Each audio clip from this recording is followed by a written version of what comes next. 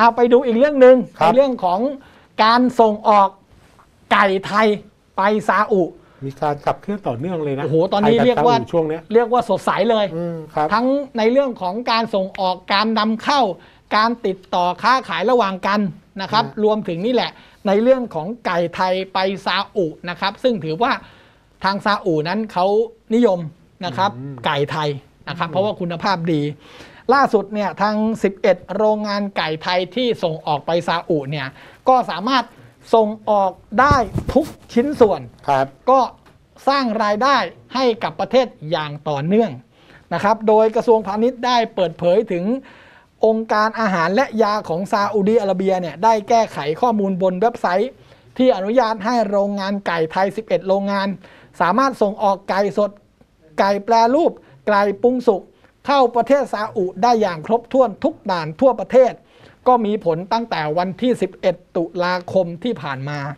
นะครับซึ่งถือเป็นอีกหนึ่งความสำเร็จของรัฐบาลในการแก้ไขปัญหาการส่งออกชิ้นส่วนไก่ไปซาอุซึ่งเป็นหนึ่งในตลาดส่งออกที่สำคัญของไทยครับที่ช่วยเพิ่มมูลค่าและทำรายได้เข้าประเทศมากขึ้น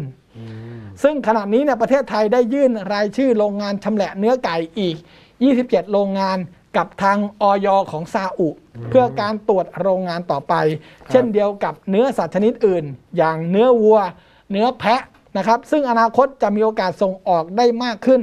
โดยอยู่ระหว่างการประสานงานจากทั้งสองประเทศ สุดยอดนะ เพิ่มเพิ่มเพิ่มช่องทางอีกนะฮะนอกจากไก่อย่างที่ว่าคุณต้นบอกอะไรมีแพะครับมีวัวด้วยมีเนวัวอะอีกนะครับ คือของเราเนี่ยเรียกว่ามี การผลิตในเรื่องของวัตถุดิบในการประกอบอาหารเนี่ยของเราเนี่ยเรียกว่าชั้นเยี่ยมระดับโลก ครับและทางซาอุเขาก็ต้องการและแน่นอนคุณภาพแล้วก็ความปลอดภัย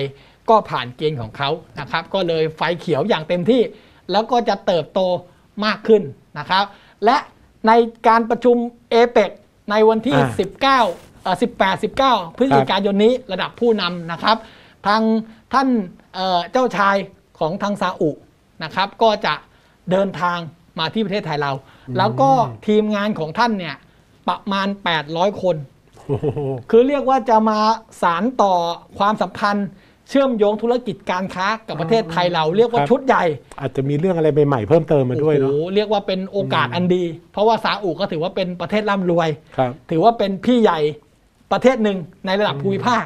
และการที่เขาเนี่ยให้ความสำคัญกับเราก็เป็นโอกาสของเราอืม ที่จะได้สร้างงานสร้างเงินเข้าประเทศมากขึ้นครับนะครับ